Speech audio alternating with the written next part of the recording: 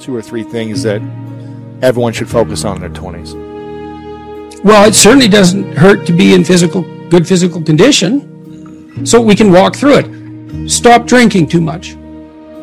How do you know if you're drinking too much? Um, you regret what you do when you're drinking.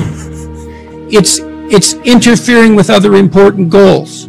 It's it's causing you financial distress. It's getting you in trouble with your friends or your family. It's getting you in trouble with the police. Okay, so stop abusing substances if you can, right? If you see that they're um, hurting you. Um, and alcohol is particularly pernicious in that regard. So, physical health. Are, are you in decent shape? Are you strong and coordinated? And if you're not, well, you'd be better if you were. You'd feel better, you'd be more effective, you'd live longer, you'd be less sick. And you really see that mount up. Like if someone's been in shape once in their life, they age way better. And it's also a really good way of maintaining your cognitive ability. Like, you know, you, you hear about those exercises that you can do online to make you smarter and keep your cognitive ability intact. Yep. Those don't work. There's no evidence that they work. People keep saying that they make you smarter, they maintain your cognitive function. Psychologists have studied that for 50 years, hoping that one of those things will work, trying all sorts of creative tacks. They don't work. Exercise works. Cardiovascular and weightlifting. You start to decline in your fluid intelligence at about the age of 25. And it's a linear trend downhill and it can accelerate as you get older. It's just like this, quite ugly. Mm. If you exercise, you stave that off. So that's really useful. Um, maintain your relationships and, and foster them. They're un, so when I look at successful people, they're really good at something. They're reliable, right? You can count on their word. They're generous, and they have a wide, wide connection network, which becomes more and more valuable as you get older. So it's one advantage that older people really have over younger people. They have a connection network, and a connection network is huge. Well, you could be connected to a thousand well connected people. Okay, that means you are connected to the entire world. Right, it's unbelievably valuable. And that's one of the things that's so absolutely remarkable about the situation that I'm in right now as far as one of the great benefits is I can Access. Yeah. I can contact pretty much anybody and they'll talk to me. It's like, yeah. really? That's so cool. I'm I'm I'm interested in infrastructure for reasons I won't get into, but I'm interested in infrastructure development. I think it's a good method of wealth transfer. Mm. It's a good solution to the problem of inequality and, and employment. Um, I reached out to a leading expert, a leading expert on infrastructure last week, see if he'd talk to me. I thought, I don't know anything about infrastructure except that it's worn to a frazzle and we should do something about it you know, he agreed to talk. And it, it, having a connection network is of inestimable, inestimable value. Reliability, generosity, you can work on both of those. Philosophical sophistication, it's very useful um, because it orients you properly you have a, a, sophisticated sense of, of the world you find, for example, that um, doing things for other people is actually more rewarding than virtually anything else you can do. You know, when you hear you should be of service to other people. Well, if you actually watch yourself,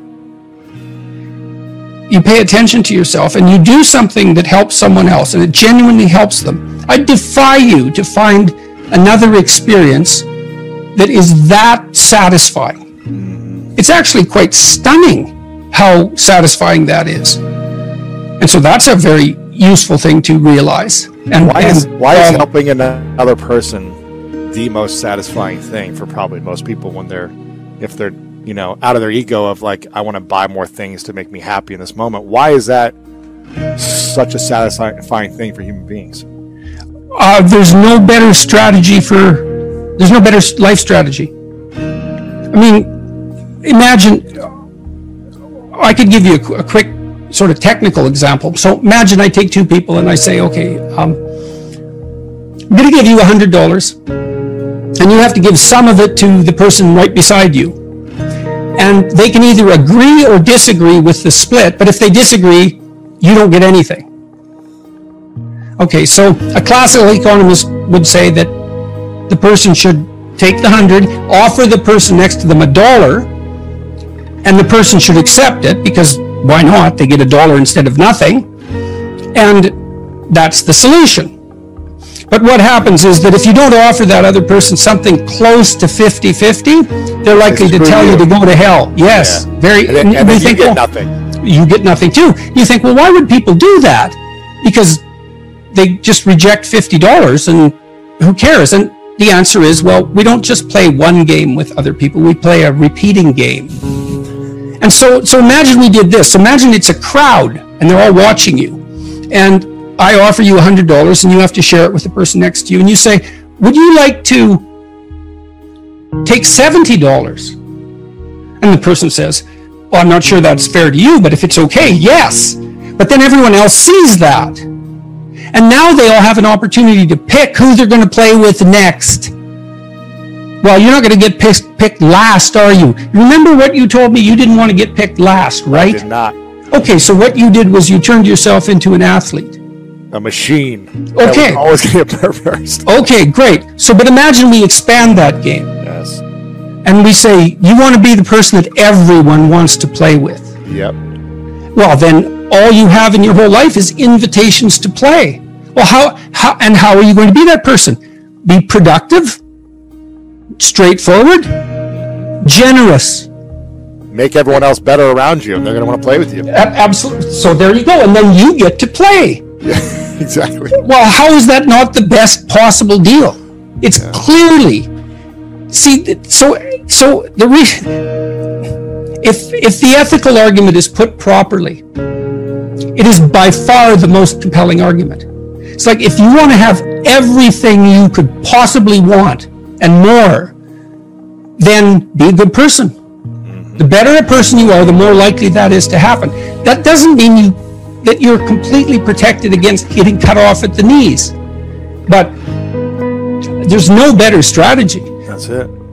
And you can even think about it selfishly, and I talk about this to some degree in Beyond Order let's say you let's say that I you want to be selfish. You think that's the best possible strategy. Why should I care about others? Okay, let's say you should only act in your own best interest. Well, then it's like, well, what's your best interest? Well, what does interest mean and what does you mean? Hmm. What's in your best interest? Your best interest. Three mysteries. What's your, what's best, what's interest? Okay. Well, there's you. But you aren't just you right now. Hmm. You're you, and you tomorrow, and you next week, and you next month, and you in five years, and you in 10 years, and you when you're a pensioner. You're a community of selves stretched across time. And so, if you were enlightened and selfish, you would act in a manner that would benefit that entire community across time. And I don't think that's any different than acting on the best possible part for other people. I, I think they're the same problem. Jocko was telling me when we talked this week, he's this tough character, man. Mm-hmm. You know, and he could have, and I'm not telling tales out of school here, he could have been a criminal, no problem. and he knows that perfectly well. And I'm not saying yeah.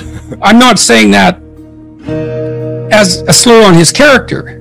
Partly because I believe the Nietzschean dictum that a lot of morality is just cowardice. And whatever he might be, he's not a coward.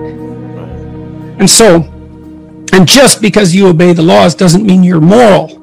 It just might mean you're afraid. In any case, so the question is, well, what socialized this brute well, he was taught in the Navy SEALs.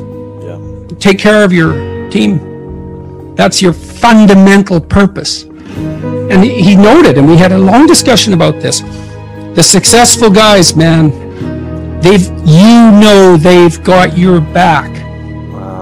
Right? They you know that above all. Yeah, and if and if if if you aspire to a leadership position among those brutes, let's say, and you aren't someone they know to have your back, they're not following.